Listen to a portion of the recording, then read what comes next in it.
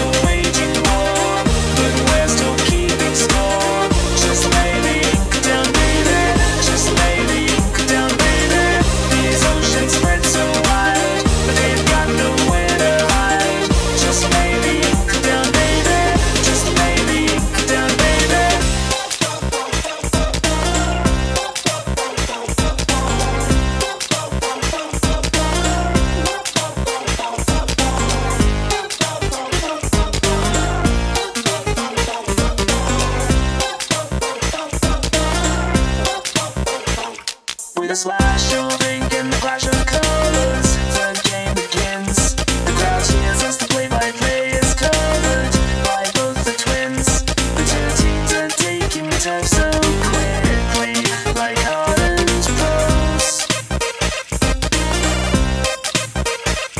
Now the fight picks up as the teams of four start aiming to kill. It's a flurry of brushes and guns.